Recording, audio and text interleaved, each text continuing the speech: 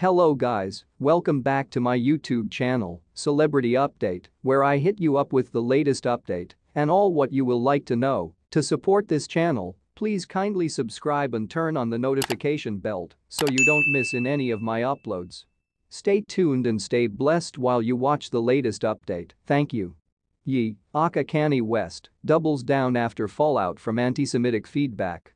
Thu, October 13, 2022, 7.33 am. Two Min Reddy, the rapper previously called Kanye West, doubled down Wednesday on his anti-Semitic feedback from over the weekend, announcing he's satisfied he crossed the road. Hey, in case you name someone out for awful enterprise, meaning you're being anti-Semitic he advised the New York Post Wednesday nighttime after leaving a screening of Candace Owens' anti-Black Lives Matter documentary in New York.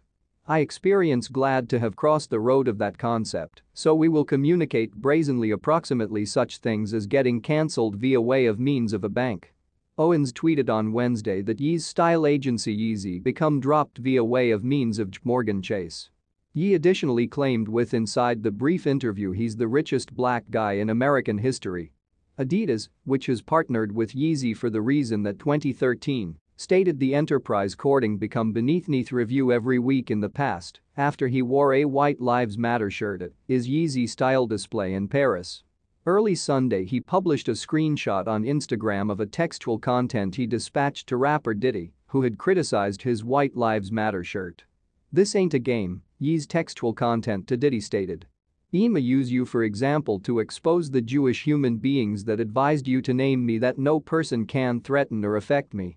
He then tweeted, I'm a piece sleepy this night however, once I awaken I'm going loss of life con 3 on Jewish people, the humorous element is I without a doubt. Can't be anti-Semitic. Due to the fact black human beings are without a doubt Jew additionally, you men have toyed with me and attempted to blackball everyone who ever opposes your agenda.